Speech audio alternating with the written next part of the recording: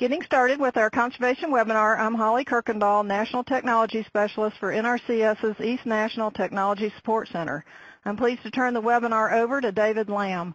David is the National Soil Health Team Leader for NRCS's Soil Health Division. David, you may now begin. Okay, and thank you, uh, Holly, for that wonderful introduction. And I want to tell you, uh, thank everybody for joining in today. I think it's going to be a very exciting presentation. I had a chance to hear uh, Dr. Montgomery's presentation several years ago at the Soil and Water Conservation Society meeting, uh, and uh, also had a chance to meet him last summer in person here in Greensboro, North Carolina. Dr. Montgomery is a professor of earth and science or space sciences at the University of Washington located in uh, Seattle and he has a BS in geology from Stanford, and his PhD is in geomorphology from the University of California.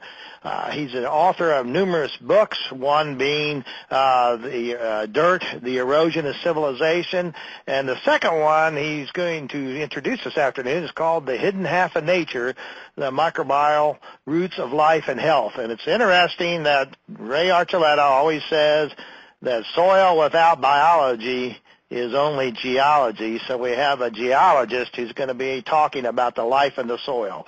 So with that, I'll turn it over to you, Dr. Montgomery. Know, uh, thank you, David, and thank you all for listening in. It's it's a, it's a privilege to talk to you all today. I've been a, a major fan of the NRCS and the work that it does back from the Soil Conservation Service days, and I read Topsoil and Civilization as an undergrad, and it got me thinking about the role of soil in human societies. So I'm going to give you a bit of an overview tour through these two books, Dirt and The Hidden Half of Nature today. If you're interested in this kind of stuff, I obviously recommend the books to you. If you want to follow uh, the stuff that um, my wife and I, my co-author on the second one, do, uh, our Twitter handle is up there on the screen. But I was asked um, about a week ago, a couple weeks ago, to give a talk at a conference in San Francisco and to open with the big picture of you know why soil conservation is important. And what I decided to do is open with this slide that shows Earth and Mars because and ask the simple question: Which planet would you rather live on, the one with soil or the one uh, known as Mars? um, and soil we can look at as as you all know as one of the great uh, resources that we have on this planet. You know, water and soil uh, make this place habitable. But if we look at the way that we've um, been treating soil over the last few centuries in particular, uh, there's great concern about um, the damage that we've been doing. David Pimentel's famous paper back from 1995 um, uh, argued that some 430 million hectares of arable land has been lost to soil degradation since the Second World War, and that's an area equivalent to about a third of all the cropland that we have on the planet. Um, and this is this is a realization that I think is central to your guys' mission, uh, as is I think the idea of soil degradation that Rattan Lal back in '99 commented on that the world's agricultural soils have already lost you know 66 to 90 billion tons of carbon, mostly due to tillage. And these issues and these changes to soil on the surface of the earth is, is why somebody like myself, a geologist, would get involved in thinking about um, the long-term influence of soil on human civilizations uh, with the idea of looking at what kind of lessons can we learn from the past in terms of the importance of soil and soil erosion and soil degradation in particular on maintaining civilizations. And that's the, the, the approach that I took in the Dirt book is trying to go back and read the archaeological literature, uh, try and integrate what had happened and what was the influence of soil erosion and degradation on ancient societies. And the first thing you run into when you start researching that perspective is the argument that it was deforestation that helped drive the soil erosion um, that contributed to the demise of societies around the world. Those all those societies over on the right-hand side of the screen being placed, you know, a few of the places where people have made those connections. But I'm a, a, a geologist who grew up in the, the steeplands of Northern California and did my PhD work in the Oregon Coast Range places where um, you might expect large-scale soil erosion to have happened from forest clearing if it simply was deforestation or, or timber harvesting that was driving erosion that contributed to the demise of ancient societies. Uh, and it, it, was you notice pretty quickly that the trees grow back long before the soil disappears on any wholesale level. Sure, clear-cutting steep slopes increases the pace of landsliding, but it just doesn't pencil out in anywhere near in terms of the kind of soil loss that's been documented in the archaeological record in ancient societies. And that got me starting to think that, well, could it have been agricultural soil erosion and degradation that contributed to limiting the lifespan of civilizations? And obviously, if I'd come up with the answer of no, I probably would have written a different book. So, you know, just titling my uh, dirt book the way I have kind of telegraphed the answer.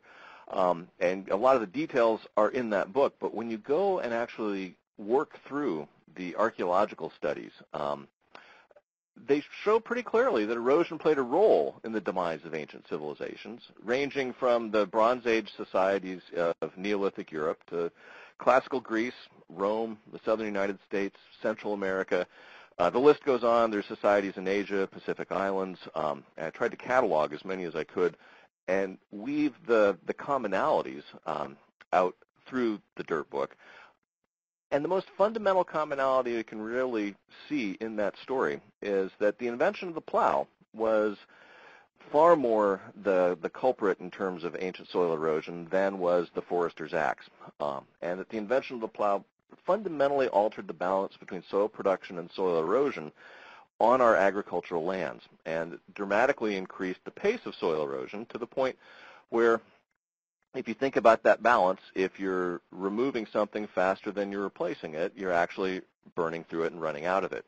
Uh, what kind of a time frame was actually involved in those processes, and could agricultural soil erosion pre uh, uh, proceed at a pace for which we can actually tie it to the longevity of human societies?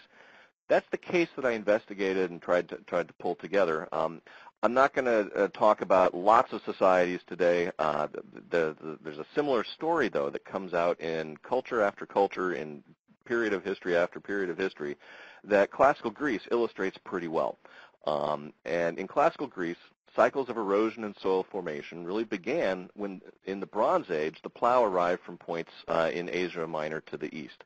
Um, and this the scenario that I'm going to walk through in terms of the, the geoarchaeological evidence that's been put together for classical Greece um, is mirrored in, in other societies, but I like using classical Greece because both the geology and the archaeology were done in concert with one another uh, in integrated studies that tried to reconstruct what happened to the landscape of Greece uh, after the last ice age through through the present day. And Tjeerd Van Andels and Chris Runnels, a geologist and, a, and, an archaeologist back in the 80s, put together this story where the next couple slides will show you cross-sections of hillsides that they put together to show the transition in the Greek landscape that accompanied the agriculturalization, if I can perhaps invent a word, um, of that landscape. And so this first slide shows the open oak woodland of, of the uh, uplands in classical Greece. Um, where you've got the, the trees on there, and then the little vertical bars that are brown show you the soil on the hillsides is about a foot to three foot um, uh, thick, bedrock underneath, and then alluvial, alluvium down in the valley bottoms. Well, when agriculture, um, plow-based grain cultivation spread up from the valley bottoms uh, up onto the hillsides, I'll see if I can make the um, uh, pointer work here, but so it spread from the valley bottoms up onto the hillsides. It started off a cycle of erosion that um, that stripped the soils off of the hillsides and piled it all up down in the valley bottoms. And you can still find agricultural implements from the Bronze Age up here on the rocky uh, slopes with just uh, scrubby maquis vegetation uh, today in places where we know that crops were grown in, in classical times. And if you think about the problem of growing food on a landscape, the thickness of the, well, the, the spatial distribution of the soil matters. If you take uh, the total volume of soil that's spread in a thin layer on a, on a, on a landscape, blanketing the hillsides, and you pile it all up down in the valley bottoms, you're going to be able to grow food on a smaller portion of the, of the landscape. And classical Greece really illustrates well this tension between how farming started down in the valley bottoms, spread up onto the hillsides, uh, but once the soil was removed from the hillsides, they were not able to support as high a population as they were when they were able to farm the entire landscape. Um, what did this do to Greek society? Uh, the one of the things I like about the Van Andels and Runnels work is, is they went ahead and tried to examine the human population density, so how many people there were um, on the landscape in various valleys of southern Greece, in this case the southern Argolid. And they looked at that population through time, from 6000 BC over there on the left up to the modern age on the right, And they see an interesting pattern of a, of a rise in population in the Bronze Age and then a crash through the Dark Age between then and the age of classical Greece where the population rose again, a second crash in the Dark Age of the, um, of the, the, of the first millennium, and then a rise to, to the modern age. Now, there's two really interesting aspects to this curve, and this is really the figure that when I found this researching dirt, it started to, the, the basic argument of the book started to gel in my mind because there's, there's two aspects to this curve, one of which is fairly trivial, and that is why does the amplitude of these cycles increase each with each cycle? And pretty clearly that's due to the development of technology. I mean, we have far better technology today in the modern age than they did back in the Bronze Age. So it's no mystery that you could grow more food per hectare of land to support a bigger population now than you did then. But what sets the periodicity? Why this, why this rise and crash, rise and crash and rise, and then, of course, the question of what happens off the right side of the graph, and is this an analog for, um, for societies in general, and what might we expect at a global level um, as well? There's very few places that you can point to where there's been three agricultural societies that occupied the same piece of land. Um, and this, this 1,000 to 2,000 year sort of cyclicity is what got me really thinking about what's the relationship between the way that people treat their land and how long the land will be able to support human societies. Now, it turns out I'm not the first person to have thought of this. Plato, back in the uh, uh, third, third, fourth century BC, noticed the problem of um, the Bronze Age soil erosion off the Greek landscape. And he wrote about it in one of his dialogues, where he wrote that the rich, soft soil has all run away, leaving the land nothing but skin and bone.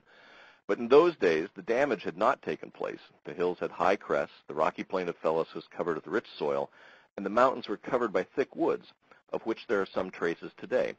What Plato was looking at was um, evidence like things like um, oak trees um, and, and olive trees that were sitting up on soil pedestals around plowed fields. And he put together the idea that degradation of the soil had led to a reduction in, in harvests that meant that the population of Greece was lower, which meant that they couldn't mount the armies they needed to protect themselves from people coming from the east.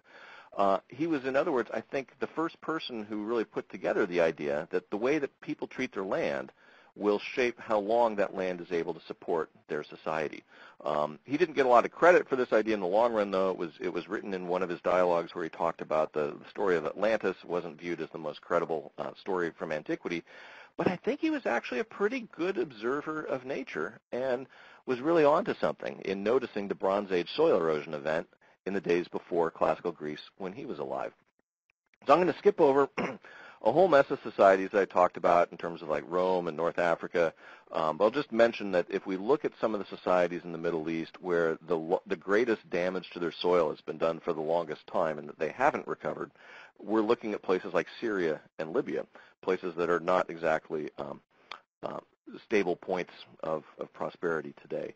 But if we look at the history of our own country and look at soil erosion um, in the U.S., I think there's some very interesting ties to the way it shaped the development of our country um, that I go into in the book, but I'll just share a little bit with you here in terms of the magnitude of historical erosion in the Piedmont region of the American Southeast. So going from Virginia up here all the way down to Alabama in looking at, at the hill country of the Piedmont, that upland terrain where, um, where soil erosion off the hillsides would be expected to um, uh, start when the soil was broken and, and it was first plowed, uh, and if agricultural soil erosion proceeded faster than um, soil was formed, how much would actually be lost, how fast. And Trimble and Mead put a lot of this work together, uh, and there's been more recent work on cosmogenic isotopes that have it's been very interesting in this regard too. But I like this one graph because it shows the magnitude of historical soil loss in the Piedmont region since the colonial era. And you'll notice that, that most of it is 4 to 10 inches. Essentially, the A horizon's been stripped off the landscape. And I was out in North Carolina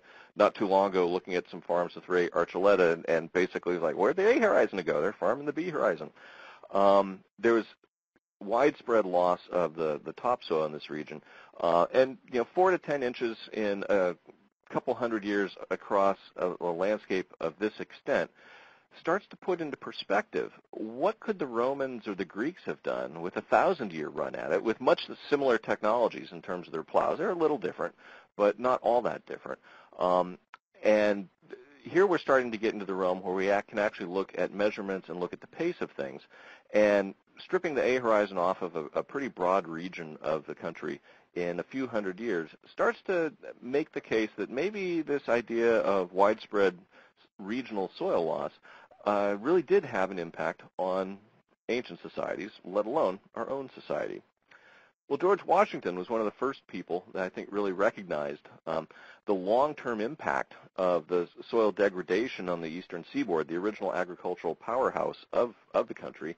And he, he ca- captured it nicely in a uh, 1796 letter to Alexander Hamilton, where he wrote that a few years more of increased sterility will drive the inhabitants of the Atlantic states westward for support, whereas if they were taught how to improve the old instead of going in pursuit of, of new and productive soils, they would make these acres which now scarcely yield them anything turn out beneficial to themselves.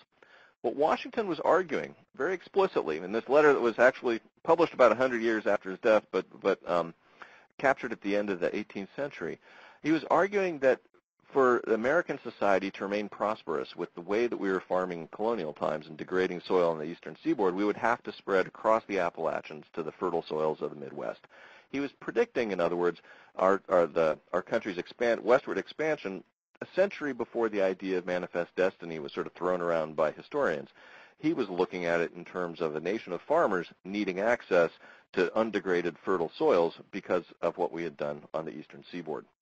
And if you look at the um, soils today, this basically um, shows you the difference between a forest soil in North Carolina and a, and a conventional tobacco um, uh, field that I um, photographed for a, a, NOVA special that was on last um, uh, November. I think it was the third episode of Making North America. They realized that they had left soils out of the picture, and we ended up doing a short segment for them. Um, but essentially, if you look at the, the soil on the left here is the analog for um, something more like what the native soil was like, and the soil on the right being what happens after a few decades of tobacco cultivation.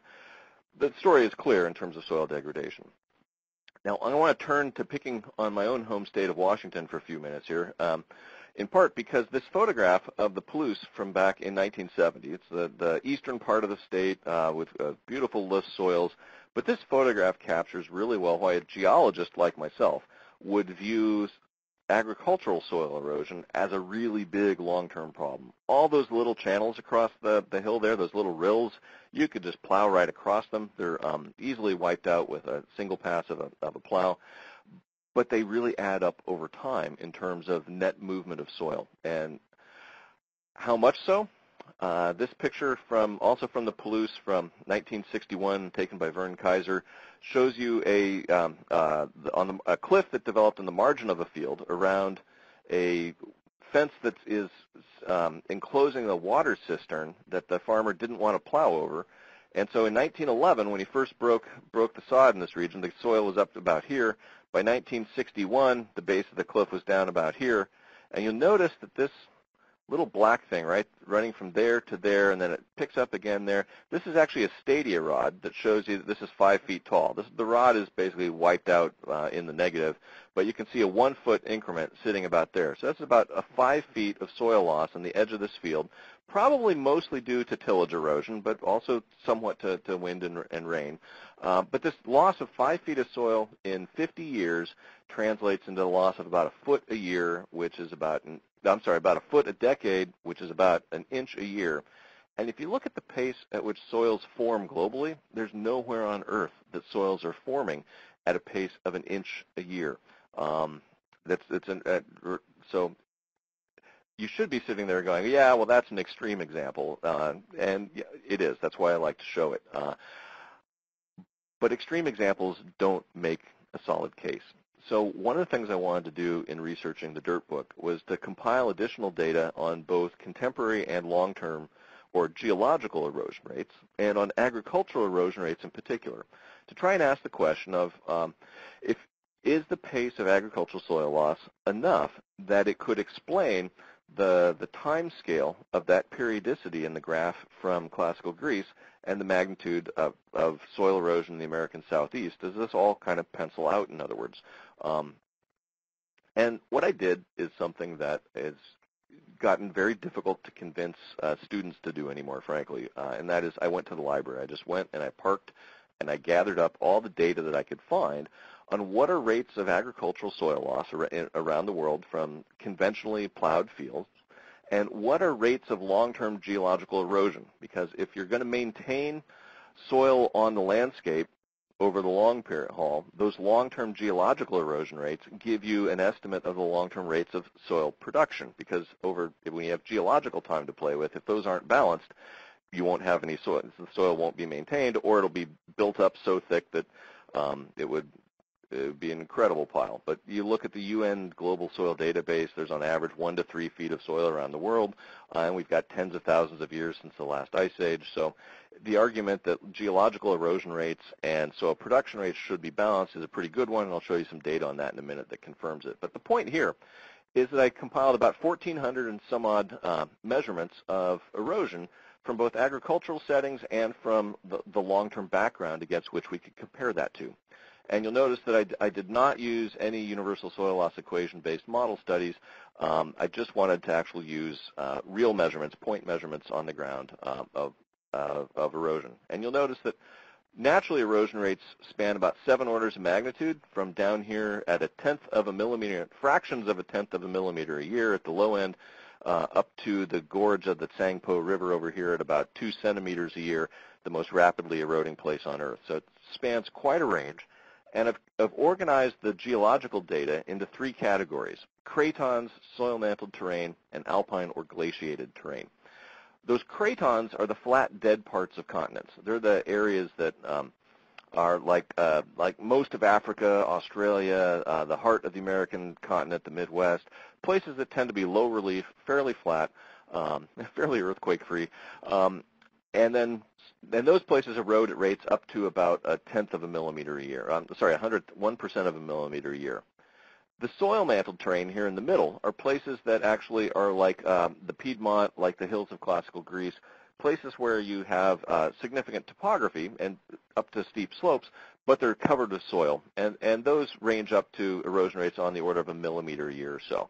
So you can think of long-term soil production rates in the areas that we actually farm, these soil-mantled uh, landscapes and cratons, as places where the soil is being produced at less than a, about a millimeter a year. If you look at places that have erosion rates higher than that over the long run, they're the alpine and glaciated terrain, real mountains, things like the Cascades, the Alps in Europe, the Himalaya, the Andes, um, places that don't tend to have a lot of soil at their surface and that tend to erode fairly fast. Now look at the data from agriculture. And what I mean by agriculture here is uh, conventional plow-based agriculture. And those erosion rates range from a fraction of a millimeter a year up to, you know, uh, pushing a, um, uh, pushing a uh, tenth of a meter a year. Um, but if you play the game of which of these natural long-term erosion rates do the conventional agriculture rates uh, pencil out at, you basically come to the conclusion that we've managed to convert um, the places that we farm uh, in this world, places like Nebraska and Tennessee, into places that are eroding like the high Himalaya and the Andes. And that's a fairly, you know, this is through the thick glasses of a geologist and a brute force global data compilation. Um, results will vary by farm and environment, obviously. But the basic story here is that we've basically accelerated rates of soil erosion um, in a way that would be unsustainable. Uh, and this shows you that same data viewed in a slightly different format. What I've got here are percentile plots, and I've added a couple other data sets. So we've got probability distributions for geological erosion rates. Uh, that's the black line in through here. Um, and then the conventional agriculture dates, black, those black dots, those, that's the same data that I showed you on the previous graph, but just presented in a different way, where you can see each data point in, in all these compilations. Um, and you know, you read the average value as the 50th percentile up and over to get the rate. But the point that I really want to make here is that when you add data on soil production rates, the little circles, the white circles, dates, uh, rates of erosion under native vegetation, the little white triangles, and rates of erosion under conservation agriculture, the little white diamonds, they all plot pretty much on top of that long-term geological soil erosion rate. In other words, this leads to the conclusion that agricultural soil loss is not because we farm, but it arises from how we farm. Conventional plow-based agriculture is the outlier, sitting up here well above long-term rates of soil erosion, soil replacement, soil production, and well above rates of soil erosion under conservation agriculture. And this I like to call the good news slide because it suggests that we have access to agricultural practices that um, would not result in long-term loss of the soil. The problem, of course, is that those are not practices that are conventional in the sense of widely adopted throughout our agricultural um, settings. Now, if we basically try and take one more look at that data before I move on to um, thinking about tying it back to um, the main thrust of the dirt book, we can look at the different kinds of averages that we have in both um, in, in distributions like this. Whether you like the median or the mean, these are not Gaussian distributions, so I'll show you both averages because it really doesn't matter to the point that I want to make. If we look at the, the average rate of erosion under conventional plow-based agriculture globally, it's somewhere north of a millimeter a year. Um, you know, whether it's a millimeter and a half, four millimeters, let's just call it north of a millimeter a year. And compare that with all these blue numbers, rates of erosion, the average rate under conservation agriculture, which the data was mostly no-till agriculture, uh, native vegetation from around the world, rates of soil production, and very long-term geological erosion rates, those are all in terms of fractions of a tenth of a millimeter a year. So however you cut this data, um, there's a very big difference between the long-term erosion rates under conventional agriculture and uh, the rates at which soil is being produced or which um, for which we could lose it under conservation agriculture. So any way you cut this, there's more than a millimeter a year difference between erosion rates under conventional agriculture and rates of soil production. So if we play that out and we sort of look at, well, what does that mean for the longevity of societies, we can do a very simple calculation where we look at the net loss of the soil uh, of about a millimeter a year or so implies that erosion of a typical half meter to one meter thick hill slope soil, you know, a foot to three feet of soil on a hillside, would only take about 500 to 1,000 years. And if you look at through the back through the archaeological record and you parse for different regions, that's about the lifespan of most major civilizations with one really big caveat, and that's outside of major river floodplains. So it wouldn't apply to things like the Tigris and Euphrates, the, the Yellow River, uh, the alluvial rivers in China, the Indus, the Brahmaputra, the Nile. The places where human civilizations have lasted the longest as contiguous civilizations are places where erosion of the uplands from those environments feeds the floodplain agriculture and refreshes soil fertility on an annual basis in those environments. And some of them had problems with salinity that I talk about in the book as well. But uh, the, the key here to me is that this periodicity that we saw in that Greek landscape in terms of three societies occupying the same uh, um, landscape, that cycle of taking 500 to 1,000 years to erode through the soil and then it taking you know a couple thousand years to, to build it back, uh, the numbers kind of pencil out at looking at that's not a crazy hypothesis to actually think about in terms of what's controlling the longevity of societies. Now, this idea that uh, the way people treat soils uh, affects the longevity of societies, again, is not new. Plato talked about it, but so did Franklin Delano Roosevelt back in 1937 in the aftermath of the Dust Bowl. He wrote in a letter to the, the governors of the then all 48 states uh, that a nation that destroys its soil destroys itself. And I think that those words are as true today as they were back then, but they have greater pertinence on a global stage because we've made great strides in this country at reducing the pace of soil erosion. We still, I think, have a ways to go in terms of reducing soil degradation, but um, but your agency in particular has been very effective since the Dust Bowl at trying to crank down the rate at which American fields are eroding you go around the world, um, and it can be a bit of a different story. Um, so this, of course, motivates the question of is soil restoration possible? Could we reverse that historical pattern, and could we do it at a large scale? Uh, and that's the question that we started to wrestle with in the hidden half of nature. This shows you my hands holding a soil uh, that on our lot in North Seattle. Uh, this is what we started with. This is what we have today about 15 years later. You'll notice there's a, a bit of a color difference between those soils we've done, um, it was an experiment that in soil building that I'll describe a little bit, but that has roots in previous efforts. Because we can look back at some societies, um, particularly Um, the Dutch uh, that built the famous Plaggen soils out of uh, marine sands, where by returning organic matter to their soil, they built up some of the most uh, fertile land in Europe. And we can look at the terra preta soils of the Amazon, uh, where uh, the native soil is not terribly fertile, but through uh, through building up carbon-rich soils, human activity actually greatly accelerated the pace of soil building to the point where the best so agricultural soil today in the Amazon is located in the regions that had the highest aboriginal population density, where the best soils, in other words, are where the most people were. So the idea that human societies need to um, mine their soil to, to persist is demonstrably wrong. There are societies that have built fertile soil through agricultural their agricultural activities, and this is something that um, my wife and co-author on the Hidden Half of Nature uh, and I really learned for ourselves in our yard when we bought a um, a house in North Seattle. And what this did through the through the digression that I'll share with you uh, is that it, it it brought to our attention the role of this invisible world of nature that we call the hidden half of nature, the microbial world, uh, the world that ranges down from the smallest or pieces of living things, DNA and viruses, all the way up to the red blood cells, the giants of the, of the microbial world. And you notice that the range in sizes of things in the invisible half of nature, things smaller than about a tenth of a millimeter, that range in sizes, it's about five orders of magnitude. That's the same size range as we have in the visible part of nature, from amoebas all the way up to people. And the title of the book, The Hidden Half of Nature, is, is not um, facetious. If we looked at the total mass of microbial life in the world, it would rival the total mass of the nature that we can know and see and look and, and, and kick over and study. Anne's a geolo- uh, biologist. I'm a geologist. We trained to study this visible world of nature. But through the process of restoring the soil in our yard, we really came to appreciate the role that this invisible hidden half plays in driving the dynamics that support life above ground. Um, this shows you our landscape, uh, our yard. Uh, when we peeled back the, the lawn, we bought a 1918 house in North Seattle. I should have dug a soil pit when we bought it. My wife wanted a garden.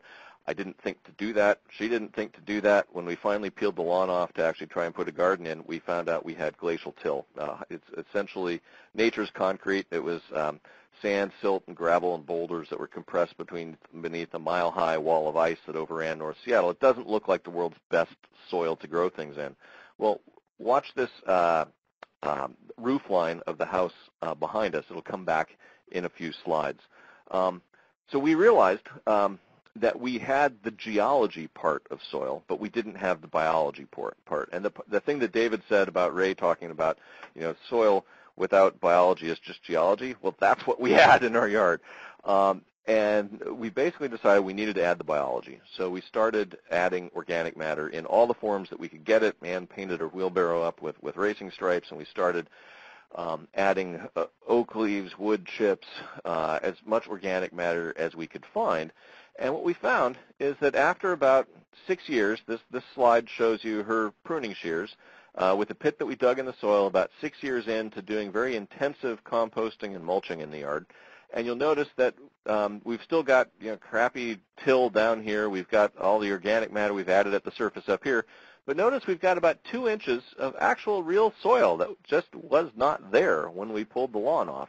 And you notice that the, tree, the plant roots are getting down just about to the interface between the soil and, um, and the till we were able to build two inches of soil in about six years. That's almost four inches a decade. I mean, this is off the charts in terms of the pace at which nature builds soil.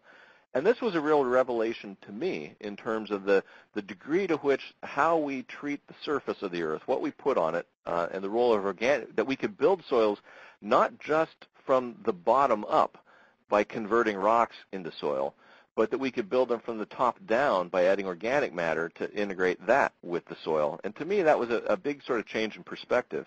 And notice this is that same uh, neighbor's roof line, um, again about six, eight years into um, our transformation of our garden and fixing the soil below ground, reseeding the microbial life that was driving the nutrient cycling in the below ground environment really fostered an explosion of life above ground that led to a radical transformation of how we actually see and use our yard.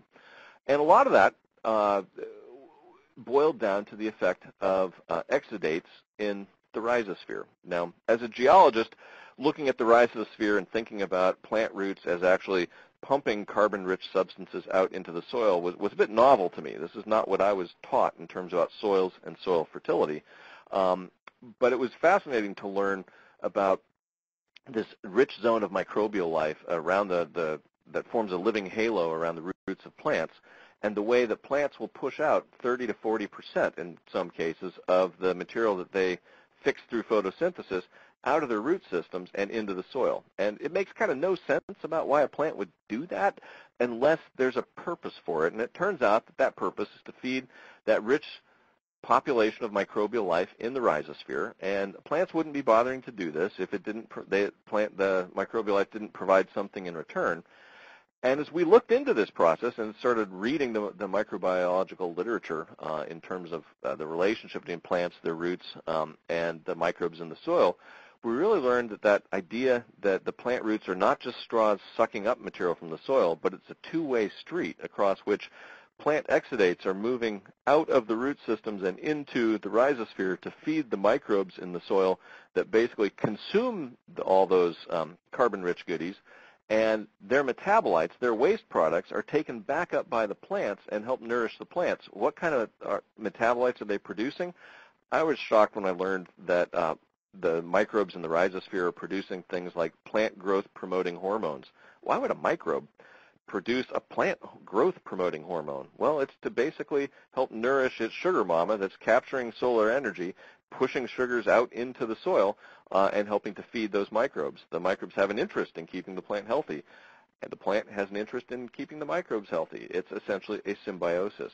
Uh, fungal hyphae that actually connect up to plant roots end up going off and prospecting into mineral soil to actually bring nutrients to plant roots.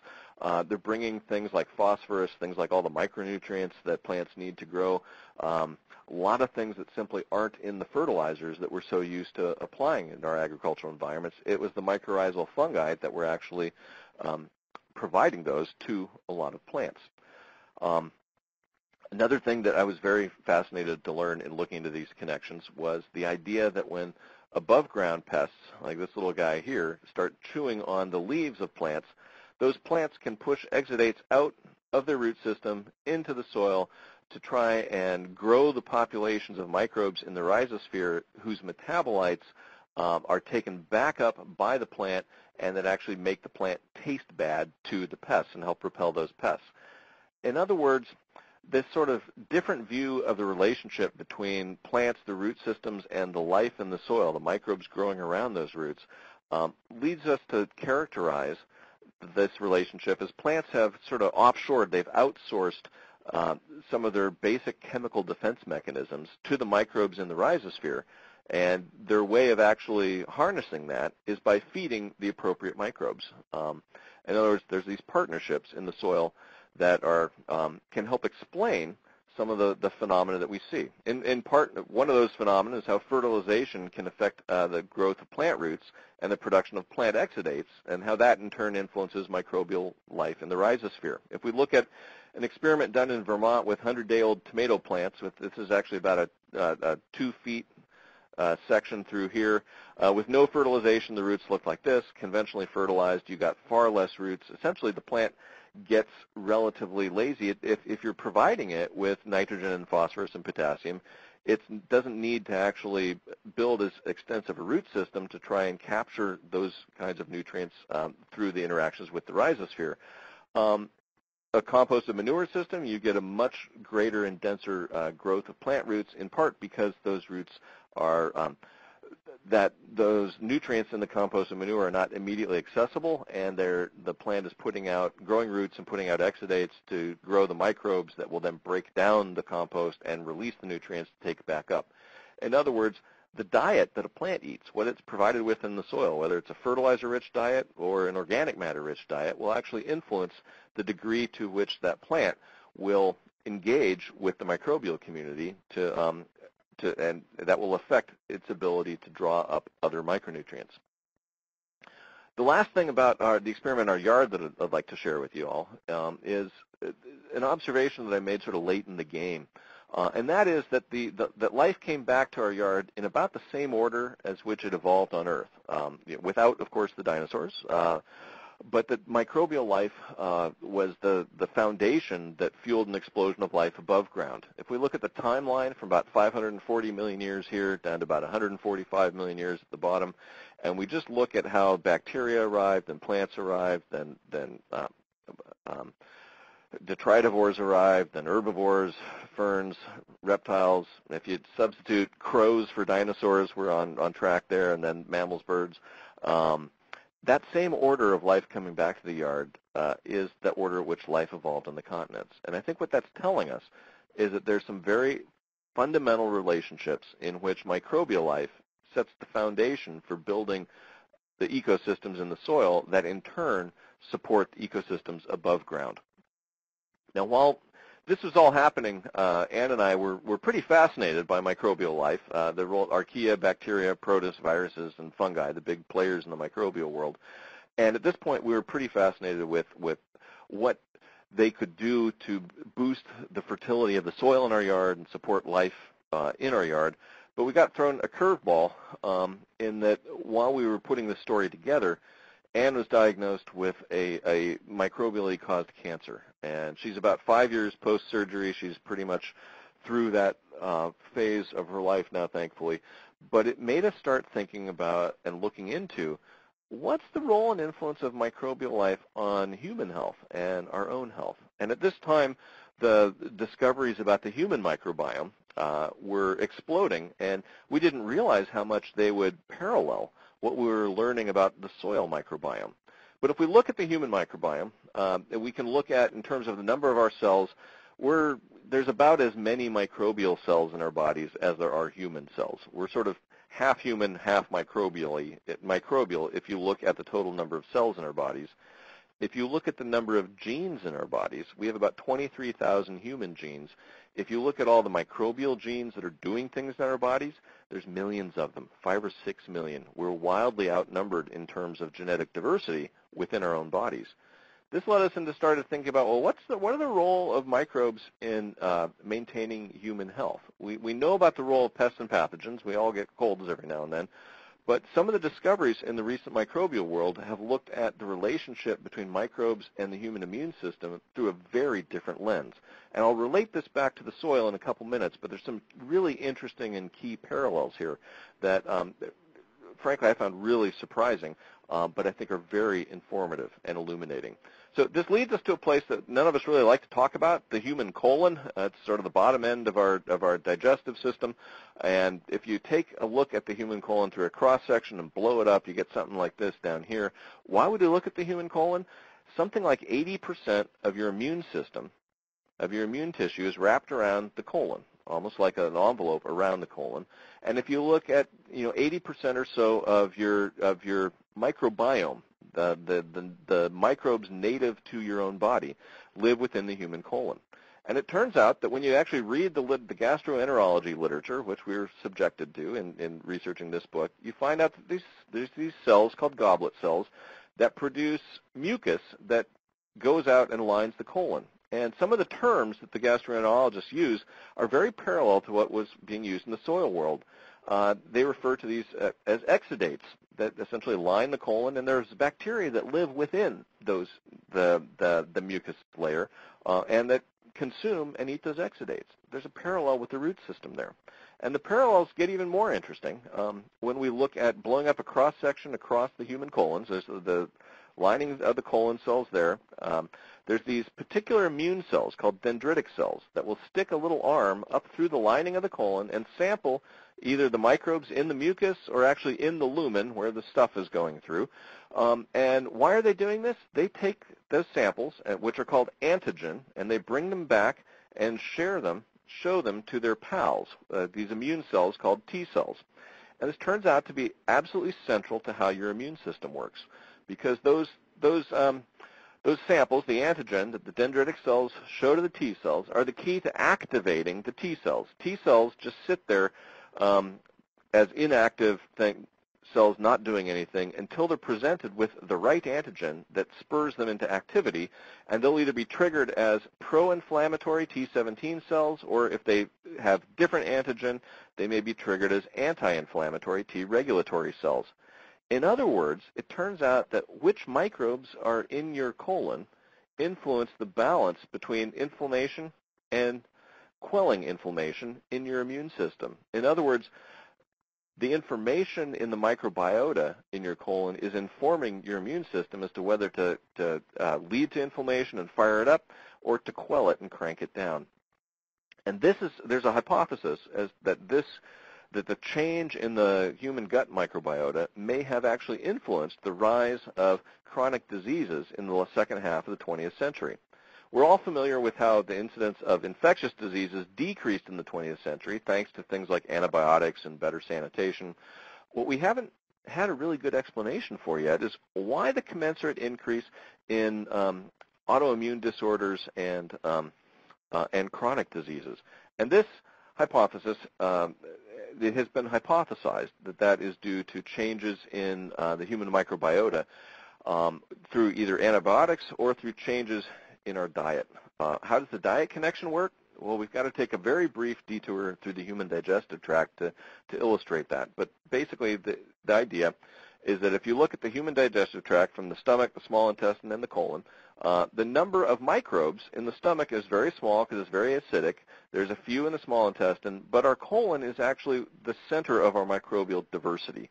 Um, and you know, there's, there's uh, hundreds of millions of, of microbes per milliliter of fluid in the colon, greatly outnumbering what's in the stomach. And if you look at what happens in these different organs, the stomach dissolves things. The small intestine absorbs the things that were dissolved in the stomach. This is where the proteins and the fats and the simple sugars get absorbed into your body. The colon, it turns out, is a fermentation tank. All those plant foods that are really hard to digest, that we don't actually have the enzymes to break down, end up in our colons.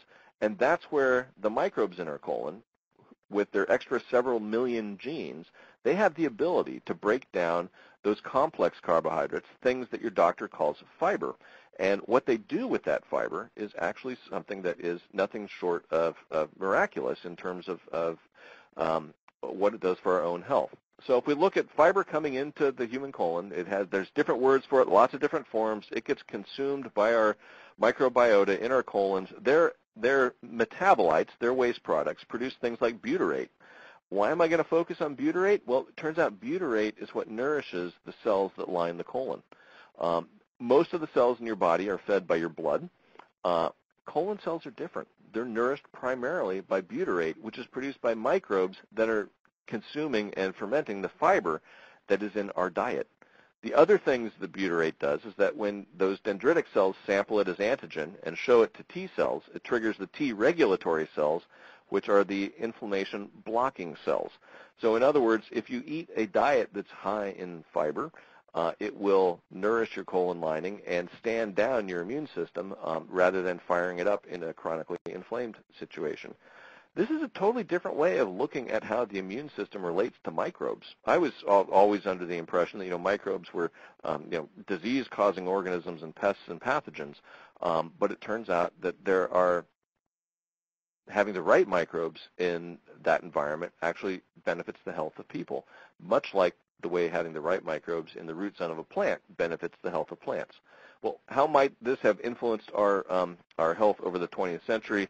Well, if we just look at the, the total carbohydrate consumption from 1910 to 1997, uh, we ate about we ate about the same amount now in terms of total carbohydrates as we did then. It's just in a completely different form. Early in the century, we ate mostly unprocessed whole grains, high carbohydrate, high fiber diet. We now eat a high carbohydrate, low fiber diet um, mostly uh, processed grains where the, the bran and the fiber part of the grains has been separated from the rest of what goes into the diet.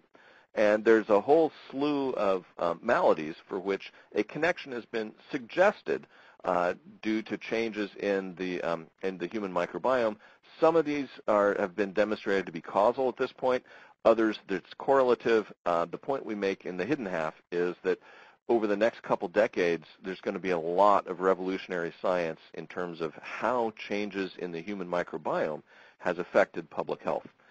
And what I really wanted to get to was that at this point in researching the book, Ann and I had this big sort of uh, aha in terms of if we think about the root and the gut as organs of animals, plants and animals respectively, um, they're kind of the same thing inside out. If we look at roots, the exudates are feeding the root microbiome in the human gut. It's our own diet and the mucus exudates from our colon lining are feeding um, our, our internal microbiome. And those microbes, in both cases, uh, help with nutrient acquisition and make metabolites that are critical to maintaining the health of both in plants and in people. Um, and it's based on making them from organic matter in the soil and from our diet in our gut, a different kind of organic matter. And if we look at the way that micro microbes are influencing plant defense and our own immune system, there's this communication that's going on, chemical communication going on between the host organism and the microbiome. Um, and this perspective of leads us to a sort of a different view, I think, of both the soil in the outer world of nature and also in what Ann and I call our inner soil, the lining of our own gut. Um, and it suggests that maybe we need to think about soil in a different way. Um, and if we think about the role of back in the plant world uh, in terms of what it is that makes for a healthy diet for plant life, thinking about the role of these beneficial microbial metabolites uh, that are produced by the microbes that are fed by the organic matter in the soil, um, you get those into a plant diet uh, when you the you have a lot of organic matter for those microbes to process and break down. A, a fertilizer diet, sort of a conventional fertilizer diet, can provide a lot of the macronutrients, but you may not be getting as many of the micronutrients and those beneficial microbial metabolites that we can get by feeding a soil a soil life diet.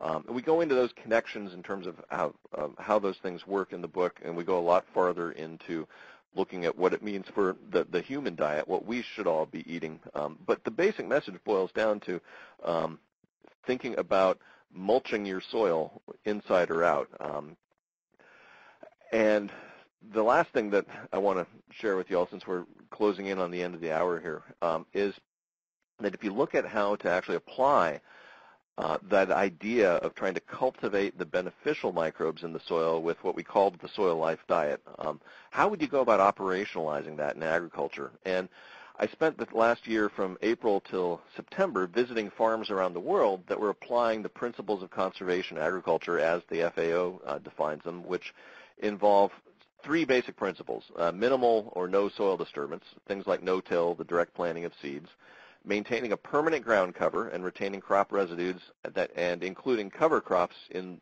crop rotations, and then using diverse rotations uh, to, main, to help break up pathogen carryover and maintain fertility.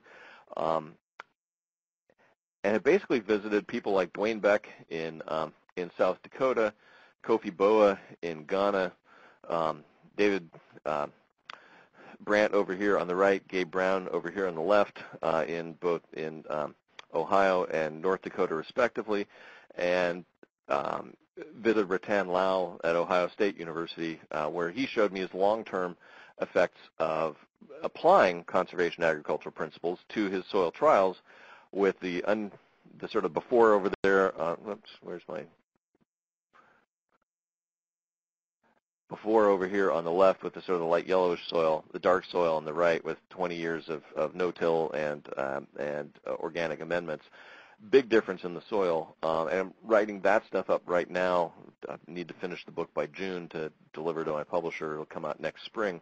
But the basic idea is that these ideas of conservation agriculture really do work to restore soil in intensive production um, environments uh, and they're scalable from small-scale subsistence farms in Africa right on up to big operations uh, in the U.S.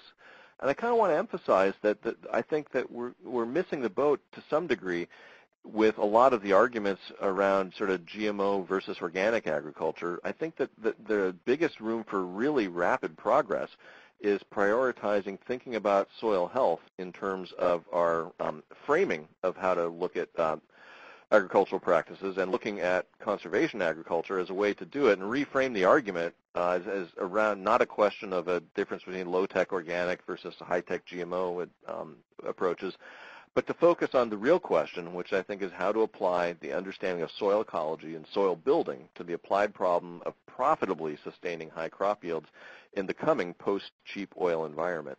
Um, I think there's room for great optimism and progress here. The the people that I was visiting uh, who are putting these principles into practice um, use different techniques uh, on their farms. They're all very different. They've but they've greatly reduced their uh, reliance on agrochemicals. Uh, none of them, well, one exception, I went to the Rodale Institute. They were the only organic uh, producers that I visited. But all these places had maintained their yields while greatly reducing their inputs and thereby made their farms more profitable. Um, and so as a final point, I think there's some side benefits from restoring healthy soils. Um, and those are that it can actually help us feed the world in the post-oil environment, maintain yields with fewer inputs. It can help sequester carbon in the soil. There's a whole other talk we could do about that, but the potential is huge. And it can help us conserve biodiversity on that quarter of the continents that are agricultural lands, um, which will be greatly important in the future. So I'll, I'll leave you there uh, since I think we're running up right into the top of the hour and I managed to actually do this on time. Um, apologize for talking fairly fast, but uh, if you're interested in following the stuff that Ann and I are, are, following up on, on the relationship between microbial life in the soil and, our, and in the human gut and their connections and parallels, um, we're on Twitter at Dig2Grow. Uh, our website's up there too, and obviously I encourage you all to uh, check out and read the books and stay tuned for the next one. I think if we have time, I'd be happy to engage with any questions. Okay, thank you, Dave. That was uh, I guess I'm a, I'm hope everybody else is blown away as I am. There's a great connection between soil, healthy soils mean healthy food, mean healthy people. I think that's just a great connection you made there. And I got a couple questions, and uh, again, I encourage folks to to get the books because I've read. Uh, I haven't read the second one, but I have read Dirt and looked at it several times. But there was a question, kind of going back a little bit to when you redid your garden any idea about how much organic matter you were talking about having to add to get those kind of uh, changes? You know, and not to give it to us in pounds per per acre, not wheelbarrows per. Uh... wheelbarrows per season. You know, yeah, I, would yeah. love, I would love to be able to give you numbers on that, but you know, the honest answer is we didn't do a controlled science experiment on the yard. It was something that uh, Ann started and called it her organic matter crusade. Uh, we we put a lot of organic matter into the yard, and I think that's why we were able to do it so fast. Um, a big part of it. There's, you know, it's there's a lot of uh, uh, coffee shops in Seattle. They all put their coffee grounds out behind the, their their places. There's there's a lot of trees that get chipped up. So we, we had a lot of nitrogen-rich and carbon-rich sources we were able to put back into the soil, and we also used a lot of our own uh, worm compost out of our out of our kitchen. So, it, you know, in terms of the rate at which we are doing it, I'm not sure. We may um, be fairly fast. What I can tell you about is how much we changed the carbon content of our soil. Unfortunately, I can't tell you how much carbon we had to put on to do it uh, because we're not that controlled. But we did recently uh, go through and look at the carbon content in different parts of the soil. And the part of the yard that we did not restore, sort of a bit out behind the garage, had the original carbon content of about a percent and a half. Most of the planting beds now are up to about 5 or 6%. Um, some are a little higher. And the vegetable beds, which got the majority of the worm compost, are up to about 11 or 12% uh, carbon. Um, so we've, we've basically sequestered a lot of carbon in the yard, but we had access to to large amounts of organic matter. Um, and you know, we we applied a lot early on, and then it tapered off, and we're now at the point where the the yard itself generates enough organic matter to, to mulch and cover the beds, so we're not adding it anymore. We've sort of built Yeah. it up. Sounds like you have quite a variety of carbon C to N ratios. Not all organic matter or organic Yep. materials the same. Yep, and we didn't we didn't control for it. It was not much of a science experiment uh, in terms of the yard. It was an eye opener for me in terms of the Yeah. potential to do it.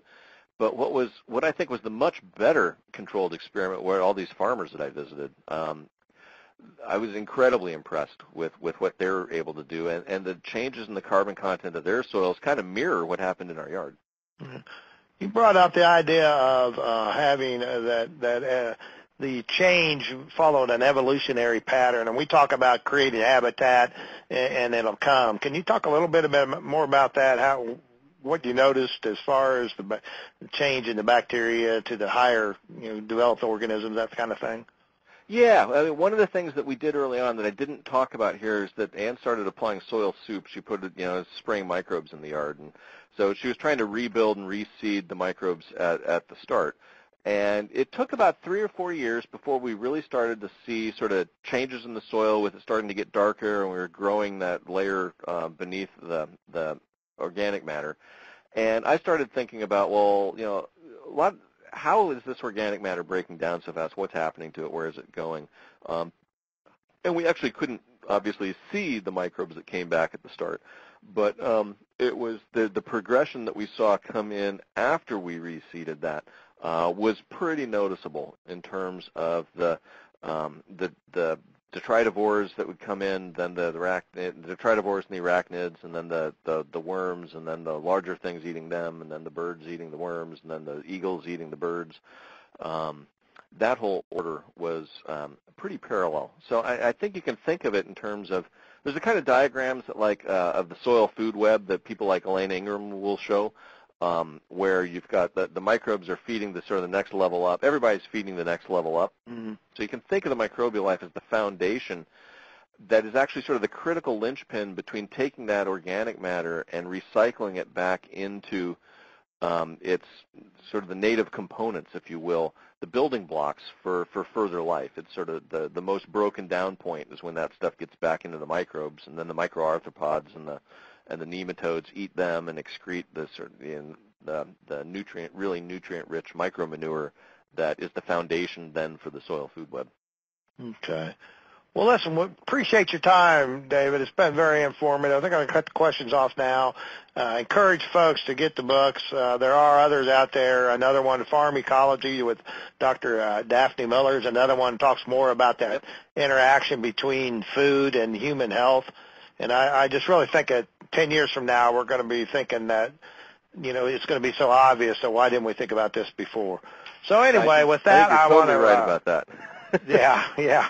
Hopefully we get, we continue to to see this change because one thing I, I I told David when I asked him to do this, his book depressed me because there wasn't you know just constant civilization after civilization falling because they didn't learn from history, and I hopefully that we can become wise enough to learn from our mistakes. And then with this new concept of understanding the ecosystem that we're all part of and building that in that not only how we eat the food, but how we produce it and the impact it has on our bodies, I think is going to lead to a more optimistic future. At least I, I feel that way. So with that, I want to thank you and uh, just say good day to everybody and have a, have a pleasant evening.